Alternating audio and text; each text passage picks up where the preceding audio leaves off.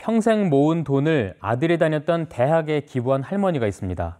아들은 6년 전에 교통사고를 당해서 세상을 떠났다는데요. 고생만 하다가 떠난 아들처럼 형편이 어려운 학생들을 돕고 싶다는 할머니를 서창호 기자가 만나봤습니다. 올해 72살의 장준심 할머니는 6년 전 믿고 의지하던 외동아들을 교통사고로 떠나보냈습니다. 마산에서 둘이 함께 살다가 할머니가 창녕으로 옮긴 지 6개월 만에 비보가 날아든 겁니다. 아들이 지가 아픕니다. 꺼낼 때마다 얼굴 쳐다보고 죽었다고 생각이 안 들 때가 많아요. 뭐또 해더라 하고 뭐또 물어봐야지. 그러놓고나 가가 죽었고. 할머니에게 아들 홍정식 씨는 아픈 손가락이었습니다.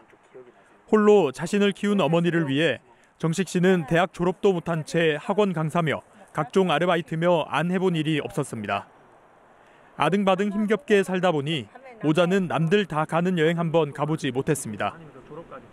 그 없이 살아나니까 전화내나 엄마하고 추억도 없었고 그게 제일 아쉽습니다. 돈 10원 하나를 못 쓰고 아까봐서 벌벌 떨고 살았는가.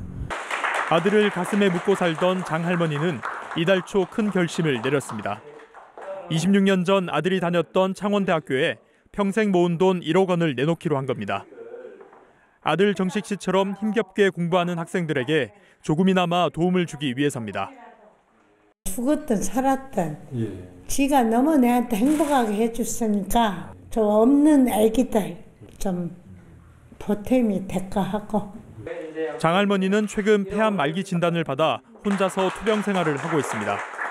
그러면서도 훗날 자신이 세상을 떠나면 나올 보험금도 학교에 전달하겠다는 뜻을 밝혔습니다. 언제 죽을지 모릅니다 저는. 그러니까 내가 죽기 전에 할 일을 해놓고 죽으려고. MBC 뉴스 서창우입니다.